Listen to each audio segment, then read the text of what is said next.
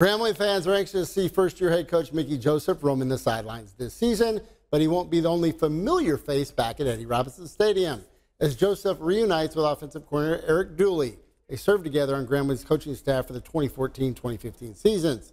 They say the trust built through the years should equate into wins this year. Well, Dooley brings what he brings to me. You know, he brings stability to me and he brings to this team, he brings a wealth of knowledge, you know, by being a head coach. So does Coach Rollins. You know, they bring a whole bunch of knowledge and they understand exactly what we need to do to win football games. You know, it's good. Me and Coach Joe is like brothers. You know, when, when we talk, we, we do, did a lot of things together. Of course, we was here together at one time, but be, long before then, we had a relationship. So it's always good to know that your head coach have confidence in you and going to let you do the things that, that's going to help the team be successful.